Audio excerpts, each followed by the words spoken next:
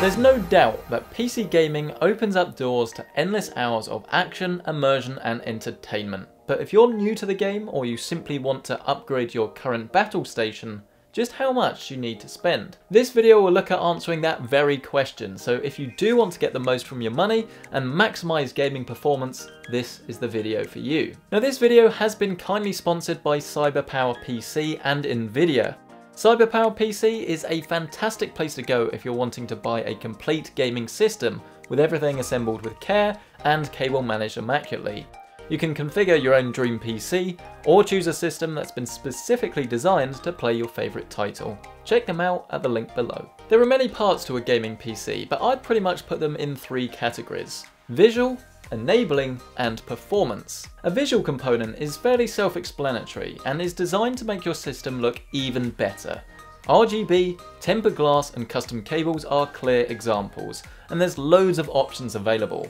The thing to remember is that none of these will actually make a difference to your gameplay, no matter how bright that RGB shines. Enablers are perhaps the most interesting ones, and not just because I've given them a fancy name. Examples include motherboards, coolers and power supplies, with each part allowing your PC to function as intended. Cheaper components will often be perfectly acceptable, as for the most part they don't actually impact your performance, they merely enable you to use more expensive components or to get the most out of them. It's about buying the right enablers for your performance parts. So this brings us on nicely then to the performance parts, which, as you probably guessed, will directly impact the performance of your PC. The critical four are the graphics card, processor, RAM and storage. It's these four components that will dictate how powerful your computer is and the tasks it can be used for. The faster the storage, the faster things will load, and the more RAM you have, the more programs you can open simultaneously. Now there's no doubt that a PC will see a benefit from having 16GB of RAM and an SSD, but when it comes to gaming, there's two components in particular that will directly impact your frame rate, and that's the processor and the graphics card. Fire up a game and both will be put to very good use, as games can actually be very taxing. The processor handles the core instructions of the game, while the graphics card will conduct the heavy lifting, calculating the exact colour and position of millions of pixels many times a second. In the vast majority of scenarios, it's these two things that will determine your frame rate. The more powerful they are, the higher your frame rate will be. But remember that cranking up the in-game settings can bring this tumbling back down. These components are expensive though, and they'll probably take up a very large chunk of your budget. So I guess the question is, which one should you prioritise? To put this to the test, I grabbed two graphics cards and two processors to see how they would impact gaming performance. On the graphics front, I picked the GeForce GTX 1050 Ti and the GeForce GTX 1070. As for the CPUs, I've got the slightly outdated i5 6500K and then the current i7 8700. All were running at stock factory settings, with each game set to the high preset. The first benchmark was Final Fantasy, and here we get a score that reflects performance. At Full HD resolution, our base PC handles the game fairly modestly, but let's say you want more performance.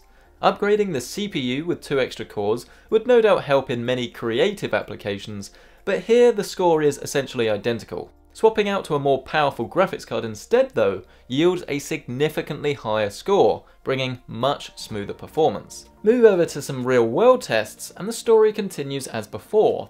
Both PlayerUnknown's Battlegrounds and Fortnite show that at each resolution, upgrading the CPU doesn't really change anything, whereas a better graphics card is a literal game changer. You see, as long as you have a strong processor with 4 or more cores, in the vast majority of cases, it's the graphics card that will be holding you back, and it's this that will dictate how your games play. Don't get me wrong, the processor is indeed an incredibly important component, but going further than an i5 or Ryzen 5, it's not necessarily the right choice if you're wanting gaming performance, and therefore further budget should probably go towards an upgraded graphics card. The takeaway here is that there's a very clear path when choosing components for a PC build. Start by looking at the games you want to play, the resolution and the settings, and then find a graphics card that will actually fit those demands. Then you can start to work backwards. Which performance parts do you need to pair with it, and will you need your PC for anything else? If you do need to make the computer a little bit cheaper, can you drop the RAM maybe to 8GB, or pick up an older generation processor as we have done here? Then it's time to start thinking about those enablers. Do you want to overclock your processor? Then you'd need a motherboard that supports that. Or do you want a really powerful graphics card? Then you'll probably need a power supply that can support that. Then finally, consider the visuals. Can you afford the extra 20 quid for some RGB strips? Or is that tempered glass case taking your eye? It's this area that you should heavily cut back on if you're trying to shave a few pounds. After all, most of it can actually be easily added at a later date. If you are thinking about buying a new gaming PC or a new graphics card, I'll leave links down in the Dan down in the comment section below. A massive thank you to CyberPower PC for sponsoring this video, as well as Nvidia. Let me know your thoughts though. What would be your tips and tricks to anyone that is planning out a new gaming PC build? Is there anything I've missed? Always interested to hear your thoughts. If you have enjoyed this video though, please hit the like button as it lets others know it's a video worth watching. And of course, get subscribed for more videos just like this. And if you do want to check out some more PC gaming explained videos that hopefully make this topic seem fairly straightforward, you can find them in the end screen. But thanks for watching, and I'll see you next time.